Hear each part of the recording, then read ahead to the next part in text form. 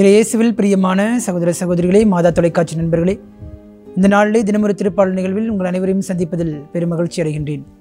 இன்றைய நாளிலே நம்முடைய தியானத்திற்காக கொடுக்கப்பட்டிருக்கக்கூடிய திருப்பாடல் எண் ஐம்பது. இதனுடைய பல்லவியாக கடவுளை மறந்தோரே இதை கண்டுணருங்கள் என்று கொடுக்கப்பட்டிருக்கிறது. இந்த திருப்பாடலை தியானிப்பதற்கு முன்பாக இதனுடைய பின்னணியை நாம் சற்று மனதில் வைத்துக்கொள்வது நல்லது.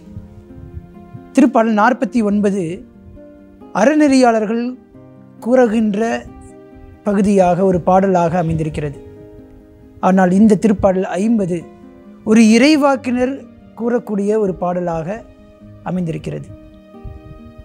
திருப்பாடல் நாற்பத்தி ஒன்பதிலே கொடுக்கப்படுகின்ற அனைத்து வார்த்தைகளும் ஒரு அறநெறியாளரை சார்ந்த வார்த்தைகளாக கொடுக்கப்படுகின்றன. ஒரு அறநெறியாளர் ஒரு ஆசிரியராக இருந்து கூறக்கூடிய வார்த்தையாக பகுதியாக அது அமைந்திருக்கிறது. ஆனால் திருப்பாடல் ஐம்பது ஒரு இறைவாக்கினர் ஒரு ஆசிரியராக இருந்து கூறுகின்ற வார்த்தையாக அமைந்திருக்கிறது. குறிப்பாக இறைவாக்கினருடைய வார்த்தை என்று சொல்வதை காட்டிலும் அது கடவுளே கூறுகின்ற வார்த்தையாக இந்த திருப்பாடல் அமைந்திருக்கிறது. இன்னும் சிறப்பாக சொல்ல வேண்டும் என்று சொன்னால் திருப்பாடல் நாற்பத்தி ஒன்பது அனைத்துலக மக்களுக்கும் பொதுவாக எழுதப்பட்ட ஒரு பாடலாக இருக்கிறது. ஆனால் திருப்பாடல் ஐம்பது இஸ்ரேல் மக்களுக்கென்று தனிப்பட்ட விதத்திலே எழுதப்பட்ட ஒரு பாடலாக இருக்கிறது.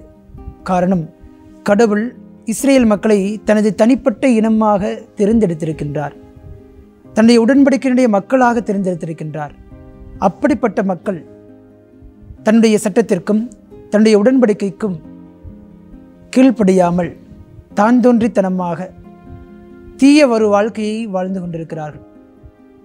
அவர்களுடைய தீய எண்ணங்களையும் தீய வாழ்க்கை முறைகளையும் சுட்டிக்காட்டக்கூடிய அந்த குற்றத்தினுடைய கொடுமைகள் எல்லாம் இன்னும் அழுத்தமாக கூறக்கூடிய ஒரு பாடலாக இந்த திருப்பாடல் அமைந்திருக்கிறது. பிரியமான சகோதர சகோதரிகளே இது தீயோருக்கு ஆண்டவர் கொடுக்கக்கூடிய ஒரு எச்சரிக்கை என்று சொல்லலாம். நீதியற்ற வாழ்க்கையை வாழ்ந்து கொண்டிருக்கக்கூடிய நபர்களுக்கு ஆண்டவர் விடுக்கக்கூடிய ஒரு கண்டிப்பு என்று சொல்லலாம். இப்படி தீமை நிறைந்த ஒரு வாழ்க்கை வாழ்ந்து கொண்டிருக்கக்கூடிய மக்களுக்கு ஆண்டவர் அறிவுரையாக எச்சரிக்கையாக இந்த திருப்பாடல் வழியாக எடுத்துரைக்கின்றார். கடவுளுடைய உடன்படிக்கை ஏற்ற ஒரு வாழ்க்கையை வாழாதவர்கள்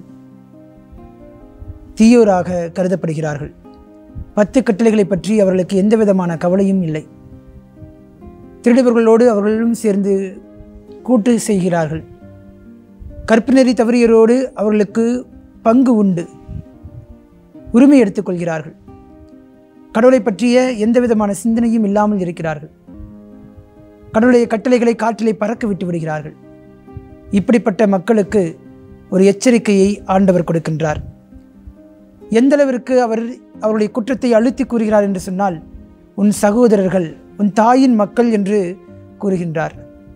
அவருடைய குற்றத்தினுடைய கொடுமையை இன்னும் ஆழமாக அவர்கள் உணர வேண்டும் என்பதற்காக அவர் இவ்வாறு வார்த்தைகளை பயன்படுத்துகின்றார். ஆண்டவர் மக்கள் செய்த பாவங்களுக்காக பழிவாங்கவும் இல்லை தண்டிக்கவும் இல்லை.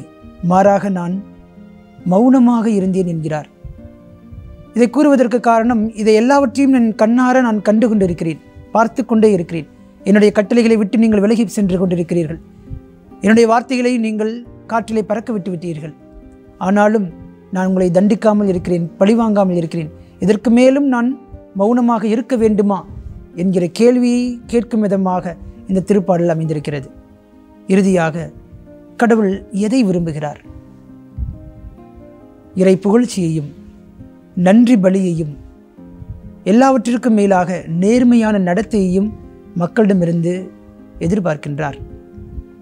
தாங்கள் வாழ்கின்ற ஒரு வாழ்க்கை ஒன்று தாங்கள் கடைபிடிக்க வேண்டிய சட்டம் ஒன்று என்று சொல்லி பிரிதொரு வாழ்க்கையை வாழ்ந்து கொண்டிருந்தால் அது ஆண்டவருக்கு உகந்த வாழ்க்கை கிடையாது.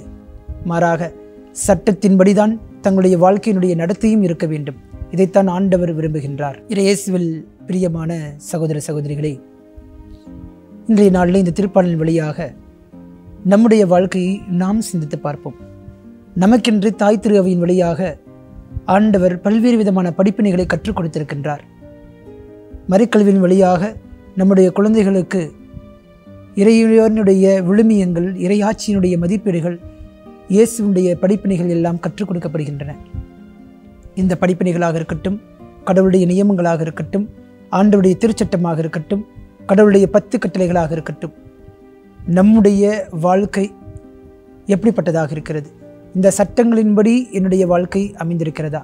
அல்லது சட்டத்திற்கும் என்னுடைய வாழ்க்கைக்கும் மிகப்பெரிய ஒரு பிளவு இருக்கிறது. வித்தியாசம் இருக்கிறது என்று சொன்னால் ஆண்டவருக்கு உகந்த வாழ்க்கை அதுவல்ல யாரெல்லாம் கடவுளுடைய கட்டளைகளை கடைபிடித்து ஆண்டுடைய சட்டத்தின்படி தங்களுடைய வாழ்க்கையை அமைத்துக் கொள்கிறார்களோ அவர்கள்தான் கடவுளுக்கு பிரியமானவர்கள் கடவுளுக்கு உகந்தவர்கள். எனவே இன்றைய நாளிலே இதை உணர்ந்து கொள்வோம். ஆண்டுடைய சட்டத்தின்படி நாம் நடக்க நம்மாலான முயற்சியை எடுப்போம் அதற்கான ஆற்றலை ஆண்டவரிடத்திலே கேட்போம். ஆமின். ஜெபிப்போமாக. எங்களை என்னாலும் நேசித்து காத்து வரும் எங்கள் நல்ல தகப்பனே. இதோ நாங்கள் எல்லோருமே கடவுளுடைய பிள்ளைகளாக வாழ திருமுழுக்கின் வழியாக தேர்ந்தெடுக்கப்பட்டிருக்கிறோம் அவருடைய பிள்ளையாகவும் தாய் திரு அவனுடைய உறுப்பினர்களாகவும் வாழ எங்களுக்கு கடமையும் பொறுப்பும் உண்டு. ஆனால் பல நேரங்களிலே உம்முடைய கட்டளைகளையும் தாய் திருவினுடைய படிப்பினைகளையும் காற்றிலே பறக்க விட்டிருக்கிறோம் தான் தோன்றித்தனமாக வாழ்ந்திருக்கிறோம். எப்படி வேண்டுமானாலும் வாழலாம். என்கிற எண்ணத்தோடு வாழ்ந்திருக்கிறோம். இதோ இன்றைய நாளில் உமக்கு உகந்த வாழ்க்கை எது என்பதை அறிந்திருக்கிறோம் தகப்பனே. இதோ இந்த வார்த்தைகள் எல்லாம் எங்களுக்கும் கொடுக்கப்படுகின்ற ஒரு எச்சரிக்கையாக எடுத்துக்கொள்கிறோம்.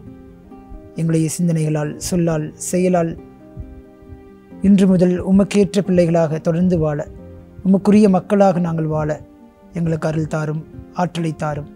எங்கள் ஜபம் கேளும் ஜீவனுள்ள நல்ல பிதாவே ஆமீன்.